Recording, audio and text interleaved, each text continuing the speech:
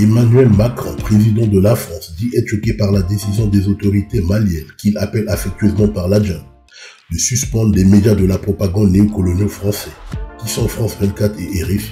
Un étonnement qui s'apparente à un acte hypocrite lorsque l'on sait que la France a décidé de suspendre à son tour, sinon d'interdire les médias russes administrés par des journalistes français et en violation de toutes les normes en matière de liberté de la presse.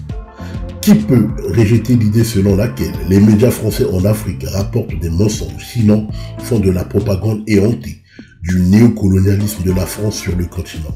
Rappelons que les médias ciblés par les autorités maliennes ont été suspendus pour des faits graves de propagande et de calomnie. Comment peut-on accuser des braves soldats maliens qui meurent pour défendre l'intégrité territoriale de leur pays d'exaction Surtout lorsque l'on sait que la France forme et renseigne des groupes terroristes qui sévissent dans le Sahel.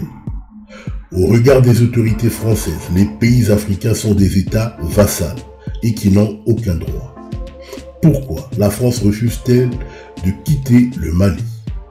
Pour mettre un terme à cette nouvelle forme de néocolonialisme et d'injure permanente, les pays africains doivent avoir le courage de bannir définitivement la langue française.